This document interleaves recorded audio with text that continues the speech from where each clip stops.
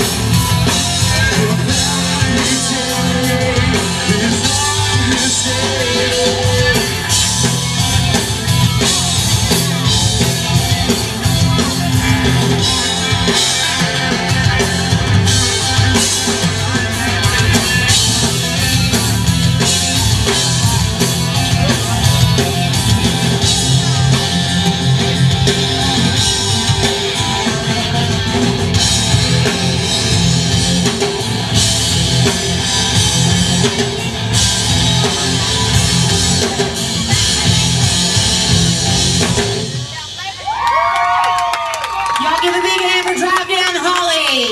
Y'all got about two minutes to come over here and place your vote for People's Choice Award. Vote for your favorite band today. Two minutes, and then we're going to cut it off. Stick around. We're fixing to announce the winners.